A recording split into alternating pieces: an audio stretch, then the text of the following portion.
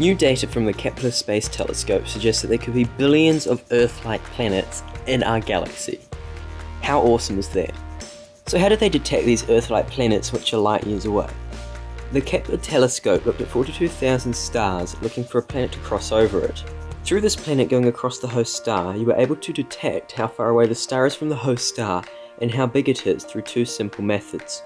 By working out how much the star is being dimmed by a planet orbiting across it, you can work out the size of the planet and if it is a similar size to Earth or not. Then, by working out how long it takes to orbit the star, you can work out how far away the star is, and they managed to find planets which were a similar size to Earth and in the habitable zone, which means they have the right conditions to support liquid water on the surface of the planet. So does that mean there's life on them?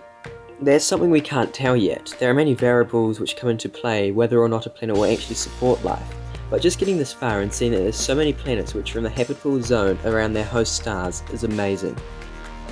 Just remember though that these planets are still light years away, and we're looking at thousands of years of travel just to reach them. But as one of the researchers said, perhaps someday we'll be part of a great galactic internet. Wouldn't that be amazing?